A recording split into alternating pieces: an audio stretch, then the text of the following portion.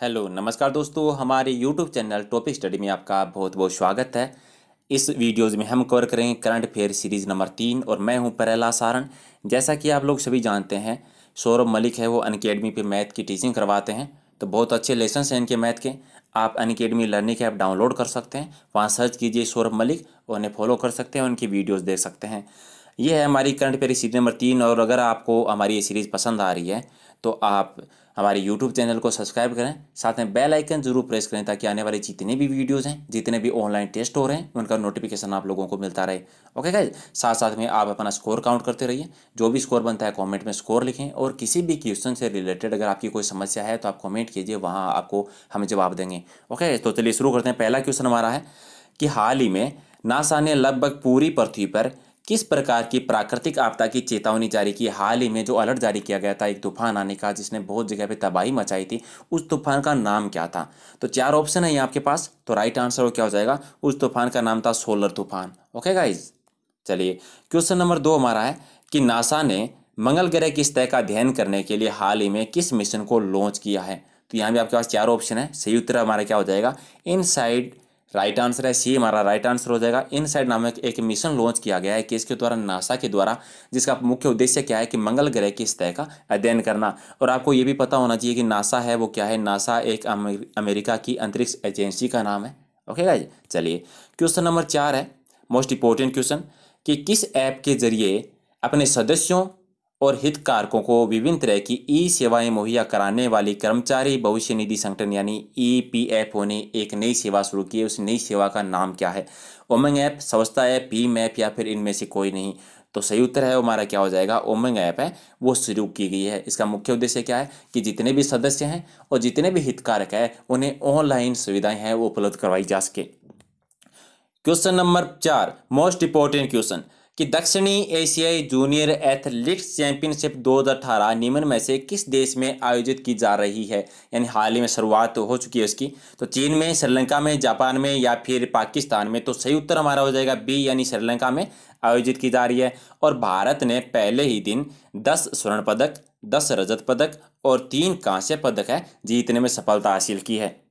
Question number पाँच, कि नीति आयोग और किस कंपनी ने एआई का उपयोग कर फ़सल उपज भविष्यवाणी मॉडल विकसित किया है। यानी एक मॉडल का भी विकास किया गया है, जिसका मुख्य कार्य क्या होगा? वो क्या करेगा? फ़सल की भविष्यवाणी करेगा, ठीक है? तो एक तो उसमें नीति आयोग है। तो नीति आयोग के साथ दूसरी कौन सी कंपनी है? तो T C A C T group I B M या फिर इनमें से कोई नहीं। तो सही उत्तर क्या हो जाएगा? तो राइट आंसर है हमारा सी यानी आईपीएम और नीति आयोग ने मिलकर यह मॉडल विकसित किया है, जो फ़सल की भविष्यवाणी करेगा और सही तरीके की सलाह भी देगा, उससे रिलेटेड कृषि से रिलेटेड फ़सल से रिलेटेड एडवाइस भी देगा।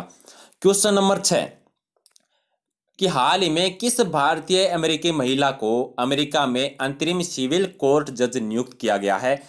प्रीति भारद्वाज, दीपा आम्बेकर नेहा ससदेवा या फिर इनमें से कोई नहीं। तो कौन सी भारतीय महिला है जिसे अमेरिका में अंतरिम सिविल कोर्ट का जज बनाया गया है? तो सही उत्तर हमारा हो जाएगा बी, यानी दीपा आम्बेकर को बनाया गया है।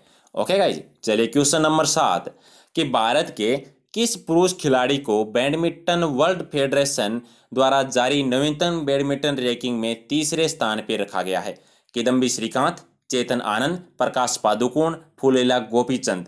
तो राइट आंसर हमारा हो जाएगा ए किदम्बी श्रीकांत को है। वो अभी हाल ही में बी डब्ल्यू एफ़ के द्वारा जितने भी खिलाड़ी हैं, उनकी एक लिस्ट जारी की गई थी, जो सर्वेस्ट खिलाड़ी है। सर्वेस्ट लिस्ट में तीन नंबर पे है, वो किदम्बी श्रीकांत को रखा गया है। क्वेश्चन नंबर आठ, कि हाल ही में कैबिनेट ने किस योजना में निवेश सीमा को दोगुना कर पंद्रह लाख रुपए करने की मंजूरी दी है?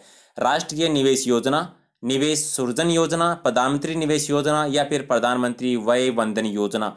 तो सही उत्तर है, वो क्या हो जाएगा? डी हमारा राइट आंसर है। यानी प्रधानमंत्री वय वंदन योजना है। उसकी राशि पहले साढ़े सात लाख रुपए थी। अभी हाल में बढ़ा के कितनी कर दी है? पंद्रह लाख रुपए कर दी है। इसके योग्यता क्या है? पात्रता क्या होगी? जो व्यक्ति साठ वर्ष का हो चुका है या फिर साठ वर्ष से अधिक है और भारतीय नागरिक है, वो इसमें लाभार्थी से होगा। इसके अलावा एक समय सीमा भी है, वो भी इसकी बढ़ा दी गई है। वो भी आप याद रखिए, उससे रिलेटेड भी क्वेश्चन पूछा सकता पहले चार मई 2018 तक थी। और अभी बढ़ा के समय सीमा कर दी है इकतीस दिसंबर 2030 तक। ओके गाइज़ तो ये भी साथ में याद रखिए आप। क्वेश्चन नंबर नौ, कि हाल ही में तुर्की का पहला परमाणु ऊर्जा संयंत्र किस देश की मदद से विकसित किया गया है? अमेरिका, चीन, भारत या फिर रूस? तो सही उत्तर क्या हो जाएगा? डी राइट आंसर रूस की सहायता से तुर्की का पहला परमाणु ऊर्जा संयंत्र है, वो विकसित किया गया है और इसकी जो परमाणु क्षमता जो रहेगी, वो रहेगी 1200 मेगावाट चार यूनिटों में। ओके गाइज़ और प्रत्येक यूनिट है, वो 1200 मेगावाट की होगी। क्वेश्चन नंबर तेईस। दस नंबर क्वेश्चन हमारा है कि हाल ही में विश्व खाद्य एवं कृषि संगठन, यानी एफएओ की रिपोर्ट के अनुसार किस कारण भारत, अफ्रीका और यूरोप के कुछ देशों में माँ का दूध शुद्ध नहीं रहा? वायु प्रदूषण, मृदा प्रदूषण फास्ट फ़ूड या फिर अनियमित जीवन शैली की वजह से।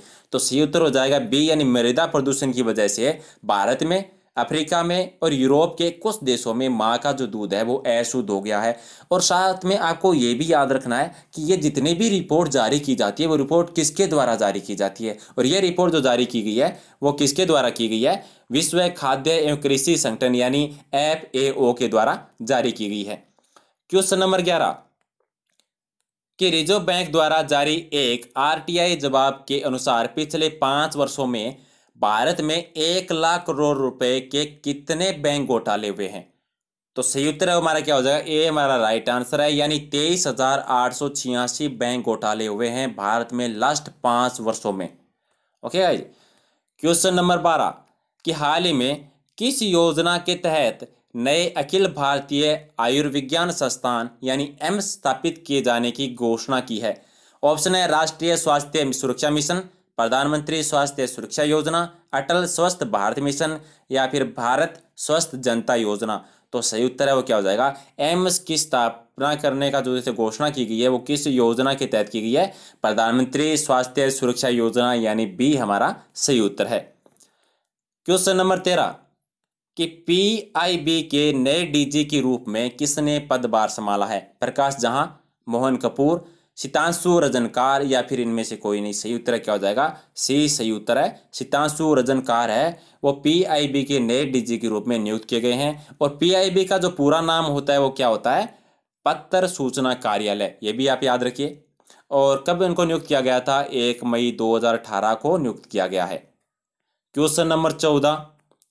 कि अखिल भारतीय फुटबॉल महासंघ के किस पूर्व अध्यक्ष का तिरासी वर्ष की आयु में निधन हो गया है? मोहन पटेल, राहुल सचदेवा, संजय कुमार या फिर पीबी लक्ष्मण? तो right answer D PB Laxman जो कि तिरासी वर्ष के थे और अखिल भारतीय फुटबॉल संघ के पूर्व अध्यक्ष थे, जिनका हाल ही में निधन हो गया है।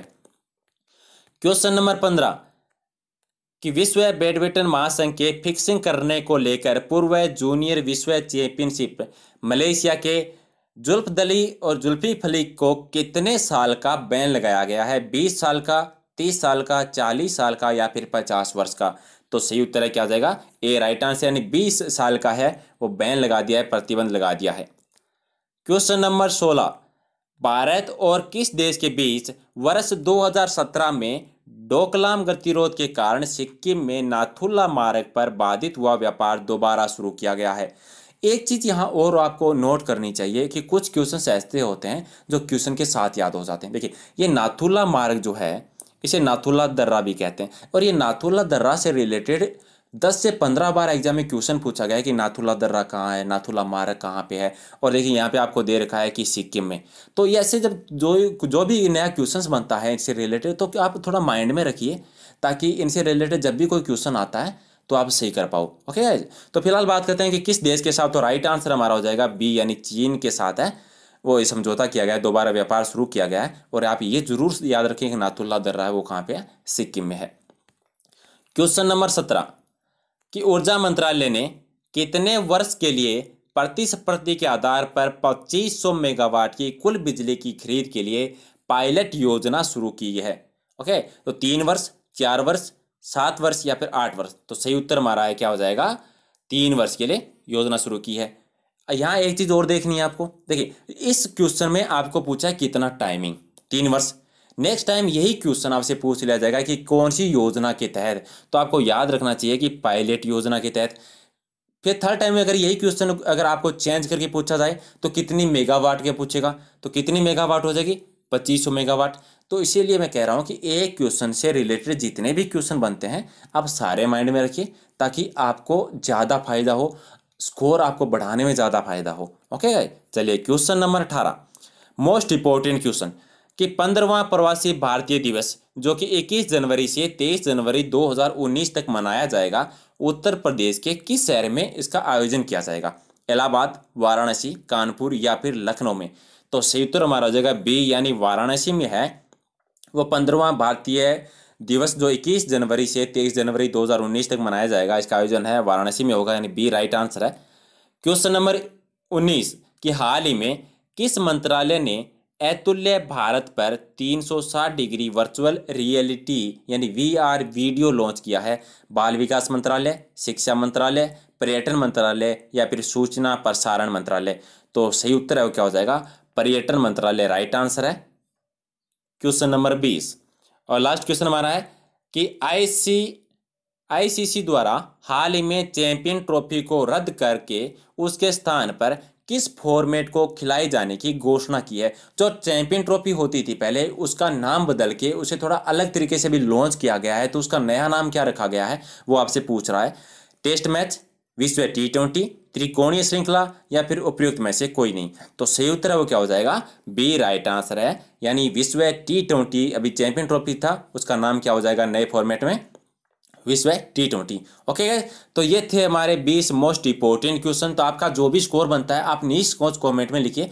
आपका अगर कम स्कोर बनता है तो भी लिखिए। अगर आपका ज़्यादा बनता है तो भी लिखिए। अगर आज आपका दस ही स्कोर आ रहा है, पाँच स्कोर आ रहा है तो आप प्रैक्टिस कीजिए। लगातार हमारे लेसन देखिए, कल आपका पंद्रह आएगा। तो आप संकोच मत कीजिए, जो भी बनता है आप लिखिए। क्वेश्चन से रिलेटेड अगर आपकी कोई भी समस्या होती है तो आप लिखिए। ओके ये चैनल जो है, आपकी वजह से चलता है। हम आपका पूरा केयर करते हैं, आपका जो भी डाउट होता है, जो भी आपके मन में शंका है, हम दूर करेंगे, आप कमेंट कीजिए और अपने दोस्तों के साथ ये वीडियो शेयर कीजिएगा। ओके गाइज़ तो मिलते हैं करंट अफेयर की सीरीज़ नंबर चार में कुछ और इंपॉर्टेंट महत्वपूर्ण क्वेश्चनों के साथ। Thank you